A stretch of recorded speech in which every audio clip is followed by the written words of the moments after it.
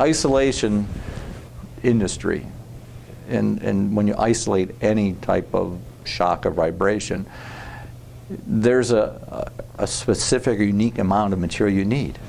You know, you could, you know, some applications you could use a, a two foot by two foot by 10 inch thick piece of Sorbothane and you need to isolate it.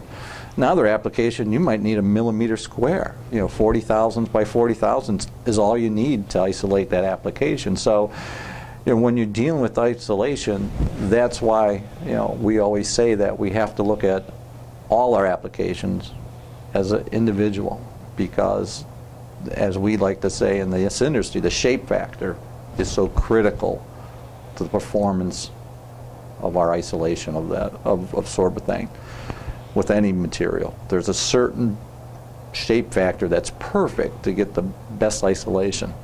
And that is what we're here to help them determine. What is that shape factor?